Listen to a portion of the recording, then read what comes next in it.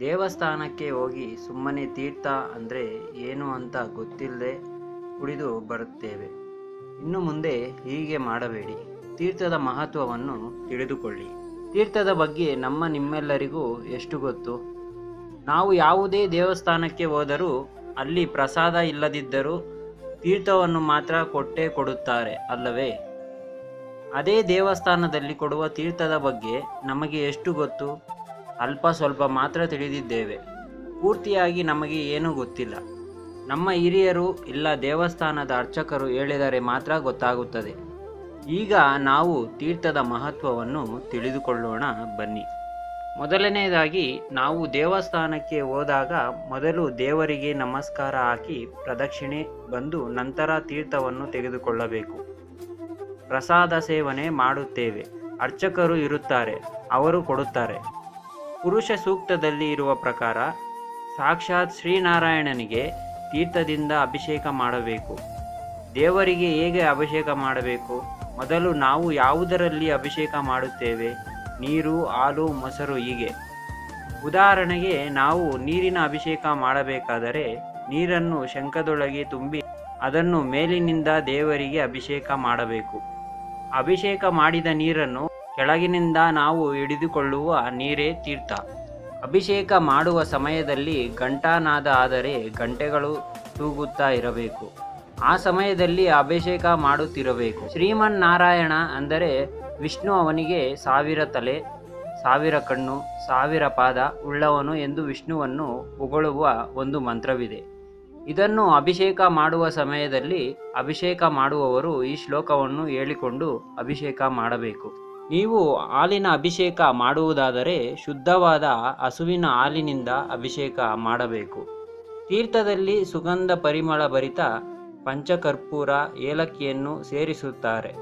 ಇನ್ನು ಕೆಲವರು ತೀರ್ಥಕ್ಕೆ ಕೇಸರಿಯನ್ನು ಸೇರಿಸುತ್ತಾರೆ. ತೀರ್ಥಕ್ಕೆ ಶಕ್ತಿ ತುಂಬಲು ಗಾಯತ್ರಿ ಮಂತ್ರವನ್ನು ಜಪಿಸಬೇಕು. ಇದರಿಂದ ತೀರ್ಥಕ್ಕೆ ವಿಶೇಷವಾದ ಶಕ್ತಿ ಬರುತ್ತದೆ. ಸಾಲಿಗ್ರಾಮ ಶಿಲೆಯ ನೀರು ಅಂದರೆ ತೀರ್ಥ. ನಾವು ಮಾಡಿದ ಪಾಪವನ್ನು ತೊಡೆದು ಹಾಕುತ್ತದೆ. ಸಾಲಿಗ್ರಾಮ ತೀರ್ಥವು ಬಹಳ ವಿಶೇಷವಾದದ್ದು.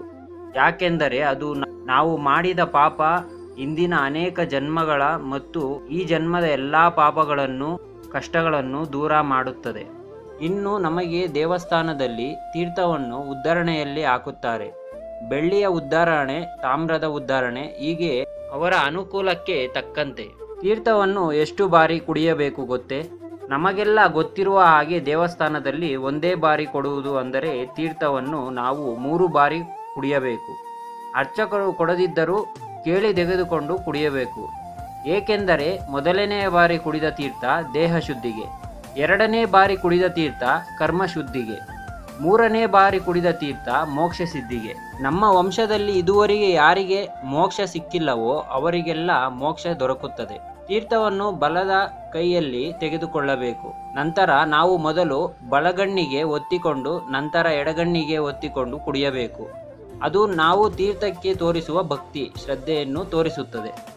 ತೀರ್ಥವನ್ನು ಸೇವಿಸಿದ ನಂತರ ನಾವು ನಮ್ಮ ಕೈಯನ್ನು ತಲೆಗೆ ಒರೆಸಿಕೊಳ್ಳುತ್ತೇವೆ. ಆದರೆ ನಾವು ಹಾಗೆ ಮಾಡಬಾರದು. ಹಾಗೆ ತಲೆಗೆ ಒರೆಸಿಕೊಂಡರೆ ಮತ್ತೊಮ್ಮೆ ಎಲ್ಲ ಪಾಪಕರ್ಮಗಳನ್ನು ನಾವೇ ತಂದುಕೊಂಡಂತಾಗುತ್ತದೆ. ತೀರ್ಥ ಕುಡಿದ ನಂತರ ಕೈ ತೊಳೆದುಕೊಳ್ಳಬೇಕು. ನಾವು ದೇವಸ್ಥಾನದಲ್ಲಿ ಕೊಡುವ ತೀರ್ಥವನ್ನು ತಂದಿಟ್ಟುಕೊಂಡು ಪೂಜೆ ಮಾಡುವ ಸಮಯದಲ್ಲಿ ಸ್ವಲ್ಪ ಸ್ವಲ್ಪವೇ ಸ್ವೀಕರಿಸಬೇಕು. ನಾವು ಕೆಲವು ತೀರ್ಥದಲ್ಲಿ ಸ್ನಾನ ಮಾಡುತ್ತೇವೆ. ಗಂಗೆ ಪವಿತ್ರವೆಂದು ಹೇಳುತ್ತೇವೆ. ಆದರೆ ಕೆಲವರು ಅದು ಮಲಿನಗೊಂಡಿದೆ ಎಂದು ಹೇಳುತ್ತಾರೆ. ಹರಿಯುವ ನೀರಿಗೆ ಯಾವ ಮಲಿನವೂ ಇರುವುದಿಲ್ಲ. ನಾವು ಮನೆಯಲ್ಲಿ ಕೂಡ ಅಭಿಷೇಕ ಮಾಡಬಹುದು.